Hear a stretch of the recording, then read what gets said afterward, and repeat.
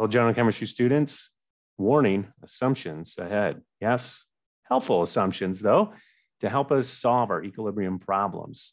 The general form of our assumption is that if you have a number minus x, you can make an assumption and drop the minus x, all right? But we need to know what the size of x and the number it's relative to.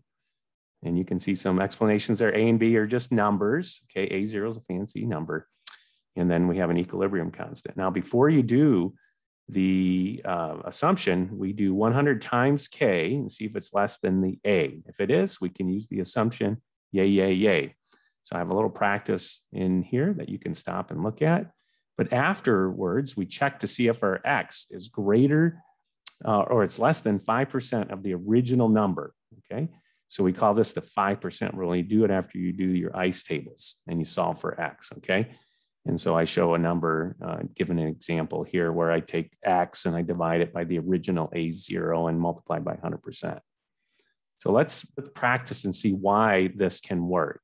It really comes from an understanding of significant digits and just numbers in general. So how can we drop uh, that X, the minus X? Well, first of all, it can be minus X or plus X. It doesn't really matter.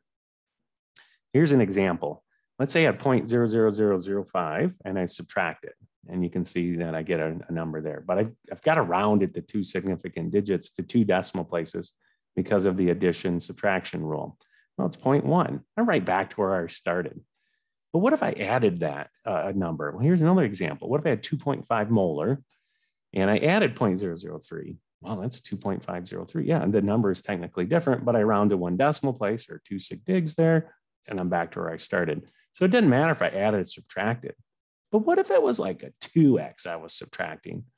No, doesn't change it too much either. Doesn't changes it about 2% in this particular example right here, but that's much less than 5%. And that's what we're looking for. So it doesn't matter if you're adding subtracting or whether it's a plus or minus 2x or 3x, not going to change it. But what if it was in the numerator or denominator? Well, we're going to check that in a little bit here, but let's just see how it works to help you. Okay, so here's an equilibrium expression. Let's do the 100K check. 100 times the equilibrium constant, 1.4 times 10 minus 4, gives you 0.014. That's less than the 0.1, so we can drop it. Okay, now we've got 0.1 in the denominator. We can multiply that on both sides. Okay, I just change the x to x times x to x squared. Multiply both 0.1 on both sides. Take the square root to find x, and I've got 0.0037. Let's check it with 5% rule to see if this was okay to do. 0.0037 divided by original 0.1 multiplied by 100%. Yep, 3.7. That's less than 5%. This works. It's okay. Now, what if it, the assumption was in the numerator, like it is in this example right here, where I have both a plus x in the top and minus x in the bottom? Can we still use it? Oh, yeah, absolutely. So let's use it.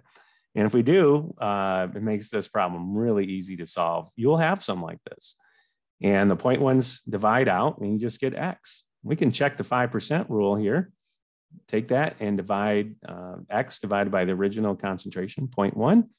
And um, yeah, that's way less than 5%. So it works here. So don't be afraid to use the assumption. I know they say don't make them, but when it comes to equilibrium problems, you're going to have to use the assumption to really help you.